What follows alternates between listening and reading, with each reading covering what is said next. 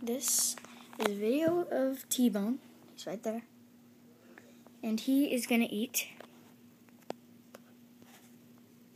some mealworms and waxworms.